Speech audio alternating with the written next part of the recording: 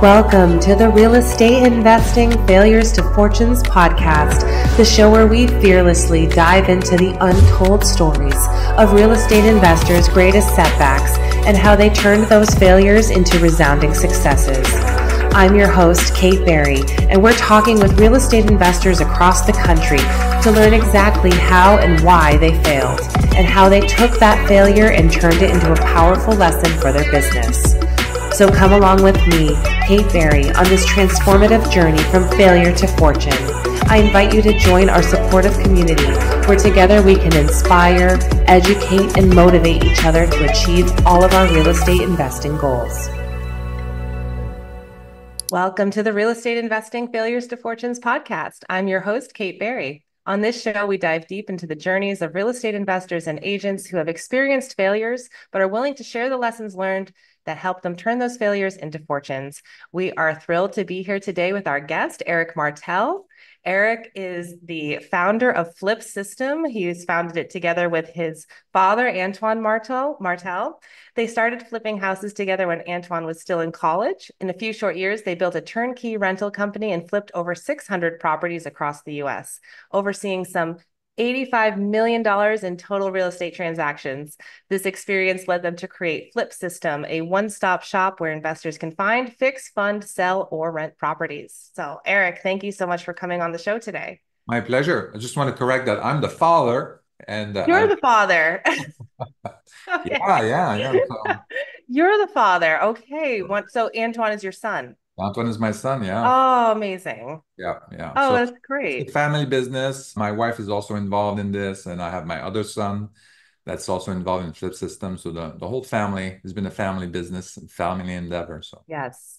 You know, you see a lot of that in real estate, family owned businesses, because I mean, tell me why. I don't know why. I think it's pretty difficult. I don't know about the real estate, if it's something about the real estate in itself, but because there are different skill set that is needed Mm-hmm. Uh, then mm-hmm. you, you know, I have someone that likes the construction side of it and all that. Someone that's very good at sales. Another person that's like marketing. True. You know, that's a good point. Uh, yes, so, absolutely. Yeah, so you, you, can find your little niche and stay with with the company. I like that. Might be a little bit difficult in other industries. Yeah, it's true. And, you know, it could work within a family, but to anyone listening, you know, you may not think, oh, I can't get into real estate because I'm not good at, you know, maybe I'm not good at math or I don't know how to build a house.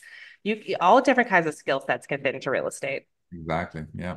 Tell us how you got started in real estate.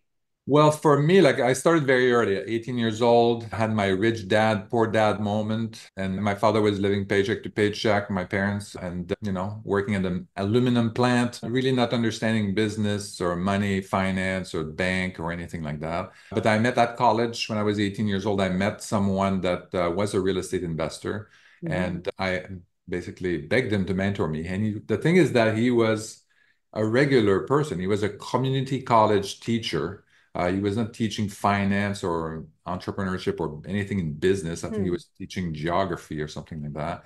Location, right? uh, that's right. See, another skill set. But uh, yeah, I mean, it's just like to me, I thought that I, I kind of had this this idea that's like, well, it's really not about kind of education level, all that kind of stuff. You just have to be like smart, and there's a difference between being smart and being intelligent. Yes, and uh, absolutely. smart and understand how the business work. And that always fascinated me. And so, yeah, he coached me, and I, with his support, I managed to build, not build, buy an eight-unit apartment building yep. with no money down, and it was nice. Cash flowing. And then I got the bug at that point. I said, okay, well, I want to do more of that. Yeah. Uh, but to do find these kinds of deal, you need a lot of work and a lot of effort. And it really took me a long time after that. I was distracted by careers and all mm-hmm. that kind of stuff. Yeah, sure. Uh, and then I worked in the high tech industry. After working as an actuary, I went to high tech industry and did a lot of stock options in that during mm-hmm. those years with companies.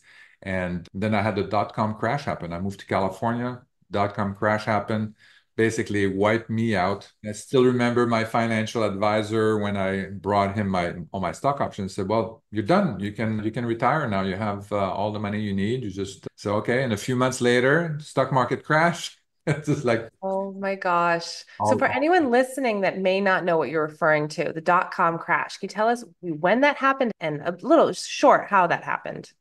Yeah, basically from 1990, I would say all the way to 2000, 2001. That's when the dot-com crash happened. A lot of companies, high-tech companies, were very overvalued in the stock market. And hmm there was just like people that were losing money. There was just like companies were losing money. And then, but people would invest in these IPOs. They would make a hmm fortune on IPOs Right. and the initial public offering. So where the company would actually go to market. And Yep. it just it was insane. Everybody was involved in the stock market. I was I had a contract with people in uh, you know visiting a lot of different businesses, different companies, and everybody was watching MSNBC, looking at the Squawk Box and all that, and everybody was aware of the stock market. The receptionists were buying IPO. Yeah. Uh, you know all these Yeah. these Right. it was insane, insane. And then, but then it came to a realization. They kind of sober. Everybody sobered up at the same time, Yeah. and that's when we got the headache of the dot-com crash. And for the stock options, the issue with the stock option is that you have a break point where you know, as long as the price is above that strike point, that strike hmm price, hmm you're making money. But if it goes below that strike price, then you're not making it. You, it's Yep. worth zero. Right. So, so even though I had a very low strike price, that strike price went just almost like at that. Oh, wow. So when that happened, did you still have the eight unit property no, I with? sold, I had sold that prior to that, prior to moving to California. Gotcha. Did you have any real estate in your portfolio at that time? No, at that point, no, because then I was really focused on, you know, starting a consulting business and Mhm. interested in high tech.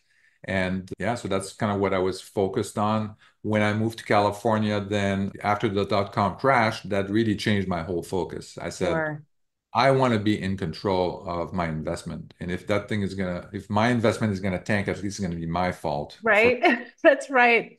You know, I mean, you can tell me if this is true or not, but that might be maybe the most devastating part of all that is to have your money disappear basically overnight, not based on anything that you did or have control over. Yeah, exactly, exactly. You just, it was just like a complete exuberance from the the stock market. People overvaluing things. It's great on the way up. Everybody's having fun, but on the other side, it's not very pleasant. Uh, Wow. S- so yeah. How tell me, uh, walk us through that a little bit. You know, how did you go from losing everything and uh, how did you get through that? And and what was kind of your next steps? So next step is really meditate. Pray. But you really have to think, yeah, you have to think about it. I mean, there's nothing you can do about it. So it's in the past, it's in the past. There's no point in dwelling about it. Right. To say you can think about it a little bit and say, what could I have done differently? And all of that. Is there anything, is there any lessons learned from that?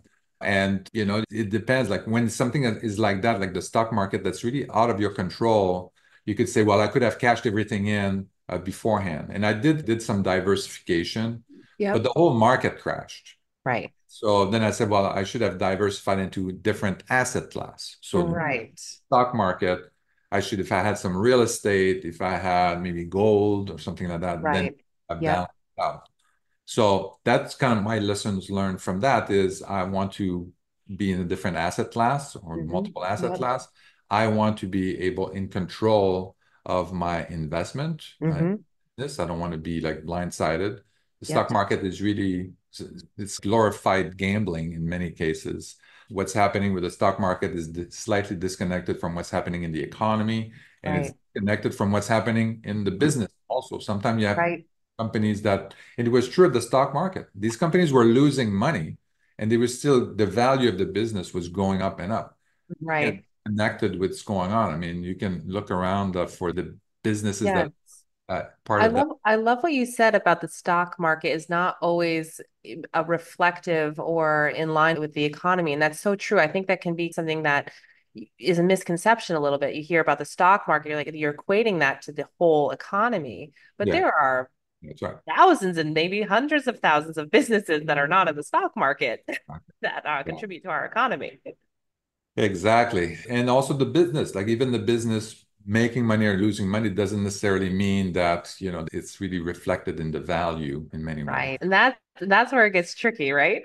Yeah, exactly. So, and you trust a lot of people trust the analysts but the analysts really they're just a marketing marketing mm-hmm. rep for these stocks they're analyzing deals and then really and it was really obvious in the dot-com crash prior to the dot-com crash all the overhype of these stocks they were just pumping these these stocks that really yeah it was probably it was actually really a marketing pr kind of exactly tactic well, Exactly. So that's kind of what you reflect on these mistakes and say, well, what could I have done differently? And that's what I came up with. That's and. Uh, that's where my focus became like investing in things that are that I had more control. Mm-hmm. And I also wanted something that was more, I had more like freedom. So a freedom mm. movement, being able to work and sure. make money in the world.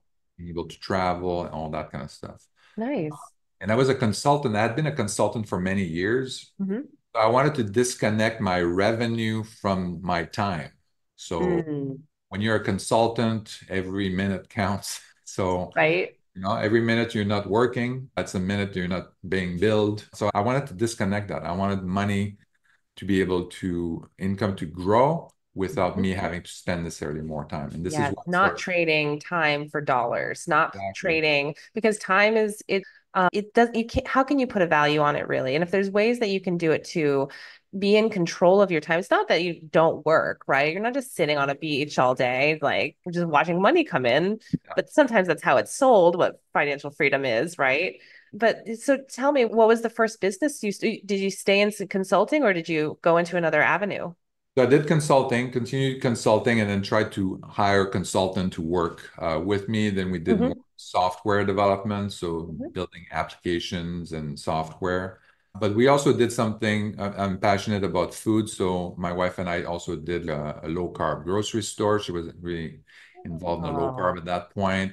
We did a gourmet sauce company after doing cool. private chef business and all that kind of stuff. So yeah. And then so we worked in those business and the plan was that they would eventually kind of grow, would mm-hmm. hire a manager and yep. then that would take care of itself. And then we'd have passive yep. income and then the business would would manage itself.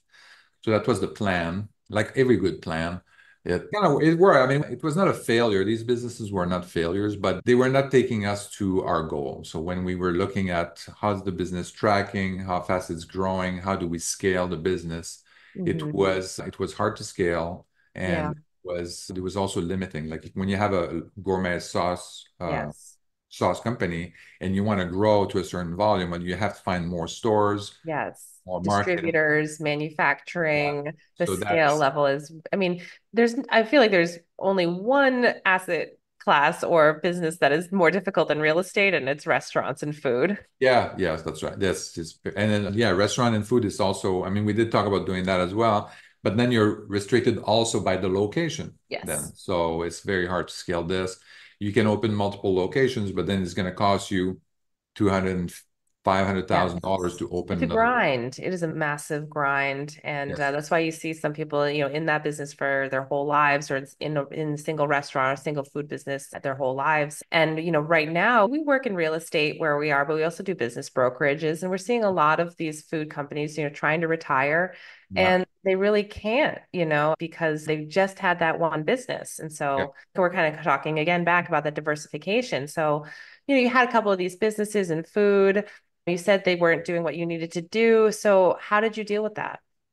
So this, the the thing is that yeah, we have a goal in mind, and we have mm-hmm. kind of this is what we're trying to do here, mm-hmm. and so we tried the, this different strategies and said, well, this strategy is not getting me there, so that we basically shut down the business mm-hmm. businesses and then focused on other businesses that we can do, mm-hmm. and uh, and we started doing real estate. So one of my younger son came to me and said he wanted to be a real estate investor, and I said, all right.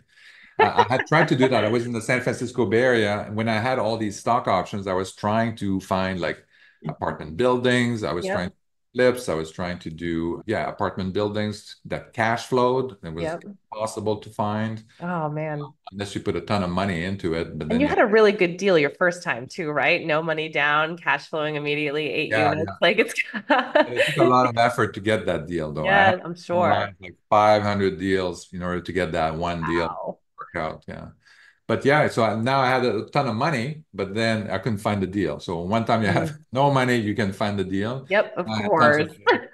and no deal that, that you have the real estate irony. Yeah. And unless you put a lot of cash, you know, a lot of down payment to reduce your mortgage payment, then Yep. it would break even. And then you would put like, you know, so some of the deal that I was looking at, it was like, it was like five or six million dollars for like seven unit in San Francisco. And it would cash flow only if I put in like $2.5 million cash in the business. Then it would break even. It's like, well, it doesn't make a lot of sense. How can you think? That's why I said I'm at that point. I said, well, I'm just going to leave my money in the stock market. Right. Um, so, yeah, that's what happened. And so now we were kind of looking at it again. So we said, okay, well, maybe it's not these apartment buildings. Maybe we were looking at it differently. We attended some some conferences, webinars, meetups. We Mhm. spent Yeah. money on programs, education programs to figure out like what was going on. And then so we tried different things. We tried like wholesaling, we tried probate, we tried all the things to find distressed properties that are Yeah. off market in the Bay Area and said, well, we're going to renovate them and stuff like that. And it Yeah. didn't make sense. Everybody knows the value of their or know the value of their house after renovation. So they want to sell it to you at that price, but before Right. you renovate. Right. It's the opportunity. So you don't understand. It's like I'm paying for the renovation, you know? So not you. What it could be. Yeah, exactly. So Yeah, I so get yeah, that a lot. so we had a couple of people like that. We tried to get the deal, it didn't really make sense. You had other issues in in terms of operation as well. So, and the thing that really broke the the the camel's back was one deal that we're planning planning to do. It was on the market for seven hundred and fifty thousand dollars, and we thought it would be. We were invited. We we thought it was a special invite from the broker to walk the property and say, okay, let's go there. And then we were met with a hundred other people It was like an open house. with basically, yeah, the special deal for you and stuff like, okay, Oh, real? Yes. nice. And then as a I'm not, then I didn't feel that special. So go there and then a hundred people there. We look at the, amount of work that needs to be done. We thought another five hundred thousand dollars would do it. It was really a gut job. Yeah. Mold, there was roo- a hole in the roof. uh, Yeah. Wow. mold everywhere, different types of molds as well, black mold, red mold, all Oh my gosh. Then, um, I- it- the structure was nice, so we thought, okay, well, there's there's potential here. It was a nice neighborhood. Yep.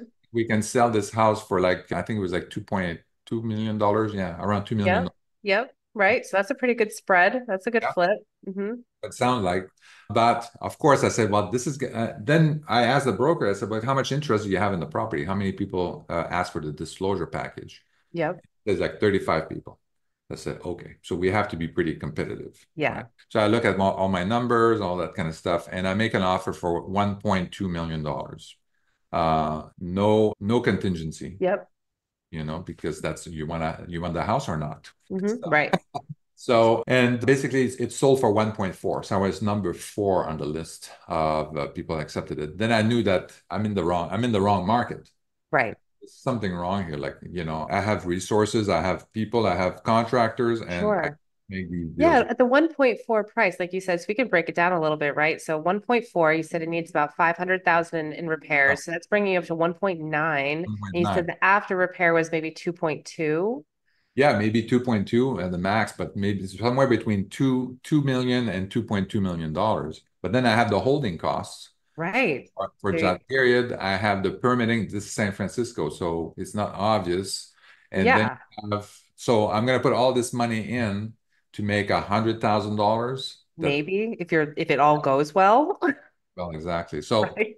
didn't make a lot of sense. So No. if you look at your cash on cash return, it was less than one percent. Yeah. So I said, well, again, might as well leave the money in the stock market. Right. So that's kind of where that's we said, okay, well, this, this doesn't work. I said maybe commercial would work. So we tried to do commercial. We had a house under, not a house, a property under contract in San Francisco. And again, we had like, I think that I put the offer, the letter of intent was for like $15 million. And we thought that we could sell it with the, the plan that we had Mhm. to sell it for like $45 million. Yep. And basically it was multi, when you have like commercial at the bottom and then you have residential Yeah, uh, multi-use. Multi-use, yeah. And then building a, a underground garage, all Yep. that, Nice. that. Yeah. We had a somebody for the money, And then basically he said, okay, he was just there. I said, oh yeah, we'll give you the money. We'll give you the money. So we kept moving forward, putting sure. more money for the inspection, for the architect, for this, for that. And said, well, okay, when are you going to give us the money? Okay, well, I need more. I want to make sure, like, I'm going to give you the money once. Eventually, he said, once it's the you have a ready to issue permit. Well, that's going to take two years to get a ready to issue permit, and that doesn't make any sense. Money, right? Yeah, and money, exactly. So we had to back out of that deal and we lost. We got our EMD. Oh, we lost. Yeah. We lost some money in terms of the paying the architect, paying. The, yeah, it's not cheap. Yeah. So, yeah, again, another kind of uh, situation where I said, well, this is not the right market. I'm in. I'm right. way over my head here. Yeah. I'm small fish in a big pond and find somewhere else. It's not working, right? Don't keep trying to force something that's not working. And I think that goes back to you were talking about your other businesses. They weren't doing what they needed you to do, to do. You they weren't getting you to the goals that you wanted to do. So you've got to pivot. You've got to look around and say, this isn't working. Let's try something new. Exactly. So then we went back to the drawing board and said, mm-hmm. well, achieve financial goal financial freedom is what i want. I want to you know so i need cash flowing rental properties. That's what i need. So i want something that's super simple something that i don't need a huge amount of of money to get started. Yep, yep. you know that's going to be cash flowing from day one or shortly after i rehab if i buy yes. this no crazy carrying cost right. carrying timeline yep. I want to be the big fish for once. Yes so I need to find the right size pond. Find right, exactly. Um, then we said, okay, well, wait, so we should look outside the San Francisco, the California market. So which market would that be? We want to have landlord-friendly states. We want to mm-hmm. have, you know, so we came up with a bunch of criteria. And me being an actuary, I downloaded a whole bunch of data from uh, Census Bureau and Bureau of Labor Statistics and mashed them all up yep. and said, okay, well, we're going to look at Memphis, Cleveland, St. Louis, and these are the markets that we looked at. Great. We got our first property in Memphis. Yep. I think we paid like $45,000 for it. We put $5,000 in renovation. And then the after repair value was, I think, like $70,000. Nice. We refinanced it. We got more money than what we put in. So I think we had put like fifty thousand dollars in stuff. And yep. Yep. we got like fifty six or fifty seven thousand dollars out of that. Yep. And so I had five thousand dollars more in my pocket. I had a house that was cash flowing. Yes. You could do another deal, and you I could do another one. I said, okay, well, I want two more deals like that. Yes. Let's so, do this uh, obviously, that's it doesn't happen very often that you find a unicorn, especially on the first project. But so I was lucky enough, and that was it. I said, okay, this is what we got to do. Yes. And uh, at the beginning, it was just doing our family portfolio. And uh, as we grew the portfolio, I mean, we had done all kinds of businesses, as I mentioned before. And then our friends were asking us, like, what are you guys doing now? Right. Like, well, we're investing in single family rentals out of state in Memphis. Yep. So what? It's where's that where's that coming from? Right. Like, tell me more. memphis. Like why memphis? Yeah well we're also doing cleveland. Cleveland yeah. like, so we they thought i was crazy. And then so i kind of explained a little bit. And after a while now they came back and they said well are you selling the properties when you're done? Like i would be interested in maybe buying it once you've done all the renovations and because they're just looking for the cash flow and some place yeah. to put their cash into an asset, but they don't necessarily want to do all that renovation. They also aren't going to have the systems in place or know how to execute something like that, but they want the return, right? Exactly. And the team on the ground too. That's another big component. Yeah. Because obviously we're doing it remotely. I'm not living in Memphis or Cleveland. So right. team on the ground, I had to, we had to vet the team. Yeah, yeah, right. Property at a time, you know. And now we had a team, we had the realtor, we had the contractor, we had the property management company. Nice. Exactly which neighborhood to buy. And then we yep. just just cranked it up. I don't and, think you were that just lucky then in getting these deals. That's a lot of work lucky, to set up. the unicorn was a little bit lucky. Finding sure. the, you know, yeah, that was, we think a lot about, about these things. I didn't find the right market building the team, fi- finding the right realtor and stuff like that. There's a lot of effort into a that. A lot of effort. I think people really minimize the amount of effort and skill that it takes to put that team together. Because if you have one weak link, like you said, there's all these different aspects to real estate. It's construction, it's the marketing, it's the financials, you know, it's the business management. Like these are all different skill sets. That's why you do have to have a team. But if that one, if if the one part construction is falling apart, the whole deal is at risk. Yeah, exactly. And uh, the worst part because then you start construction already. I'd rather know upfront that you're going to overcharge me, so I don't go into the deal in the first place. Uh, so we do, do inspection. Wouldn't and, that be nice?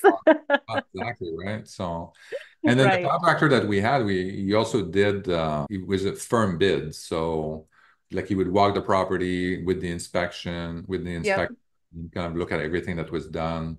And so if it was a little bit over, he wouldn't charge us extra because we were doing multiple deals. Right. So he knew that there would be like two or three more deals coming. So says, okay, I'm losing a thousand dollars here. I'm not gonna bother. I'm just gonna. Yep. Keep. Nice. Great. So, yeah, so you did the you did a couple of deals and tell how did we get to where we are today you know with with yeah. flip system sounds i mean you got systems you're doing flips i kind of see where it's going Yeah. And then so with Martel Turnkey, so we grew the company over the years and then we did over like 650 of these flips. We also started a wholesaling company called Rocket Offer. We did about 250 wholesale deals there. Nice. We did some apartment buildings as well. And and then it was just like a lot of people were asking us, well, I wanted to do the, what you guys are doing. And so, okay, well, we'll show you how that's done. So we created an online program you do that and say, I wrote a book also, Stop Trading Your Time for Money, where I lay out exactly what you need to do. It's right. on Amazon. And I gotta get uh, that. I gotta get that because that is so, it's so important. Yeah. And then, so in my book, I talk about the mindset. That's a big thing. Then it's about what you need to know, what skills you need. And then it's that after that, the third section is really about the process. Okay, well, nice. you need to build a team. So you need to, yep. once you identify the market, you need to find the team, you need to talk to a bunch of people 95% of the realtors are not going to respond to you or they're going to respond to you after two or three weeks yeah. you don't want to work with those people right the other yeah. one the people that respond they don't understand working with real estate uh, investors so you know you eliminate those then you want to make sure they're aligned with your goals all that kind yep. of stuff and after all these calls i mean we found one person in memphis one person two people in cleveland Wow. And then a couple of people and uh, one person in St. Louis and then a couple of now we have that's more. a great lesson there right it also just yeah not all realtors are created equal or and not in, in any profession you know and not interested some of them are not interested in working with yeah it's not their it's not their niche and that's okay everyone can have their specialty and most you know most realtors are going to be in that residential single family helping people buy and sell their own personal homes and real estate investing is a, a whole different beast yeah. And so you want someone specialized in that investment niche. You don't want a residential agent that does a, a you know commercial occasionally on the side. They yeah. have to be all aligned in that world because that's who their network is going to be. That's what their resources are going to be. Their own systems are going to integrate into your systems, and you both have the same goals too, right? Because they want to yeah, exactly. help you buy and sell as much as possible. Yeah. Yeah. And goes same goes with property management companies. You have mm. property management companies they just want to do these large apartment buildings. Yeah. Right. They're not interested in having some guy run around in a truck across different houses all over the city. They don't, they don't want that. They want to have right. one person that goes one truck, one place, and every single day same thing over and over. And that's fine again yeah that is totally fine. But i think for some of us and probably a lot of people listening that are investors or entrepreneurs we're just not that tight to do the same thing every day. But this is what i like about single family rental is that this is you can really get into a groove about if you look at the houses that we have for uh, the houses yeah. that we have in martel turnkey website you're going to see that there's a they are very similar from one another. It's really yeah. like cookie cutter. And that's the advantage of these single family rentals is that you know i don't have to tell my contractor what kind of countertop to put what to paint the wall yeah. whether he should change the cupboard what he should change the cupboards for. And uh, he knows already because he's done it like 500 times before 300 times before. So there's no discussion about what the scope of work is. He walks the yeah. property, he knows exactly what he needs to do. Nice, brilliant. That's the advantage of that. Brilliant. Uh, as opposed to these, the retail flips, it's a little bit more complicated. It's more like design and stuff like that. Oh, should we tear this wall down? Should we do this? Should we yeah. improve the layout? I don't improve the layout on anything. Uh, Like, oh yeah, right. If just buy right. Don't buy something where you need to do the whole lay layout over. That's right. So that's good advice. Or exactly. Yeah. So a lot of people were interested in doing that. So well, we tried to do the online training program. Mm-hmm. And what we found is that even if we tell people that this that's what you need to do, you just need to phone a hundred realtors and then talk to them. We give them the script on what to do, and people didn't have time to do it. They were not motivated enough to do it. They yeah. just, just, didn't do it. Was, then we said, okay, because I had a mentor when I got started when I was 18 years old, I said, well, that really worked for me. Like I have a mentor, a coach. So we started a mentorship yeah. program. And right. then same thing, we were charging a lot of money for people to join the mentorship program and then they were not successful either i was like what's going on here like they they didn't have the motivation they, yeah. it was too much work for for people to to get involved and and get it done. And it's like wow this is like and how we measure success is mm-hmm. it's not by how much money we're making it's by how successful everybody is our customers absolutely. Right. So we didn't like the fact that 95% of our the the people that joined the mentorship program they didn't complete one transaction. So we yeah. just like we, we have to stop this. This is nonsense. Yeah. right. And this is what how flip system was born. So we help you know we we have the online training program we have the coaching but we help you find the deal. So we have our acquisitions team is going to find the deals put it in the software the, the yep. portal that we have for our clients. Mm-hmm. then you have a tool to analyze these deals. You basically put them in your analysis tool. This is all part of the same portal. Nice. Then you connect with your team on the ground. We connect you with the team on the ground and we cool. say oh you're interested in the detroit market? You're just yep. interested in the st louis market? Here are two or three realtors property managers in that area call them. I mean, we've worked with them before. Call them and let them know that we're, we sent you. See if you want to work with them, and then it, you can connect them with the, the software platform as well, the portal with them. So you have a property, you say, I really like this property. You can mm-hmm. send it to your realtor, and they they see the property. They send the feedback back right right within the portal. Wow, that's so, so cool. Yeah, yeah. So that really saves a lot of step steps and then then you can put the offer with the realtor and then you get started with your deal. We help you the coaches and help you analyze deals. They help you with the acquisition. Like sometimes people have trouble acquiring properties. Sure. Yes. Yeah. With the strategy then there's also we have pe- someone that was reviewing and managing all the our contractors yep we would do, review the inspection report construction report the scope of work and all that kind of stuff so we have someone a coach that uh, specializes in that as nice. well and Great. that access so with all of these things and then we also if you complete the program and you have a house we connect you with everybody else the lenders if you right. want to sell the property so you can do that refinance and start it all over again. Exactly. So we help you with all of that. We have great connection, great network, and then we have a community so you can communicate with with other clients, other people that are. That's so great, and it sounds like such a great resource for anyone that is really ready to get started into real estate. Maybe they have some money, but they don't know how to get started. And and truthfully, you know, we were talking about this a little bit before we, you know, started the interview. It's a difficult market to break into right yeah. now. I think more than ever before, you've got record high pricing, inflation, we've got interest rates that are we just came down a little bit or at least, you know, the Fed lowered it a little bit. It might hopefully it'll affect mortgage rates, but also extremely low inventory. That's really I think the biggest yeah. hurdle for a lot of new investors coming in, just so small inventory and then yeah, you get those bidding up wars if you get anything priced right and now your numbers don't make any sense. So it sounds great for someone who's ready to get started, maybe doesn't know necessarily or have the systems in place or know where to invest, mm-hmm. and they can go through your system.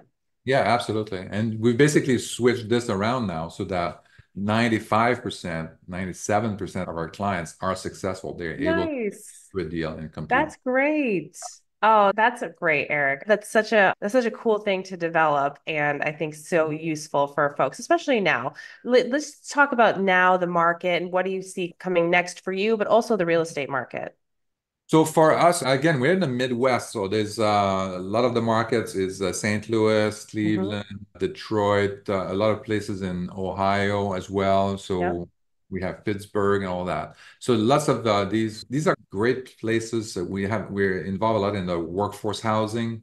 So people that have jobs that have they're looking for a place to live. Yep. We also have the to me like the millennials are also moving out. Their family formation, so they're moving out. If they were in apartment buildings, yes. they're moving out and they're finding a. We want their yes, yeah, absolutely, yep. So that makes a big, make big difference for me. I, I see a lot of demand for the rental, for the tenants, for single family rentals. And you're right, there is a big market. The market is tight, but there are still opportunities out there. I mean, right. we're analyzing, you know, hundreds of deals a week. So there's no, we can find deals. And our acquisition team is basically narrowing it down to maybe, you know, 20 deals, 10, 20 deals a day in one particular wow. market sometimes yep. more in bigger markets like Detroit. We have more deals there. Nice. But so yeah, but again, it's very competitive. So that means you the speed to market is very important. And this is why our flip system portal is so important because mm-hmm. you can literally look at it, take the property, click on the button, it puts it in your tool. You can add your financing, you can talk to your realtor and adjust the after repair value, you can adjust mm-hmm. the repairs, see if the numbers still make sense it calculates kind of the your returns on the different flips. Uh, if you're going to do a flip, if you're going to do a BRRRR, what is the return going to be for the person that's going to buy your rental yep. flip? So all these things. So you re, we have all the metrics already calculated, and nice. you can make a decision very quickly. Right. This is what's yeah. important is to be able to, as soon as the property gets on the market, our acquisitions team within two hours they've analyzed the deal and they put it on the property marketplace. That's brilliant. You look at it, you boom, you push the pull the trigger, and uh, you, you can be the first one to make an offer. I love that. Fast, simple, easy, direct, analytical. You know, you're running the numbers, and you've got the consultation and the coaching and the mentorship part of it as well. So, Eric, I really enjoyed our interview today. I can't wait to check out Flip System. I'm going to go into it now, find my next flip, and you know, live that financially free life. Absolutely. and for uh, this will be in the show notes, but for anyone listening, what is the best way for people to reach out to you?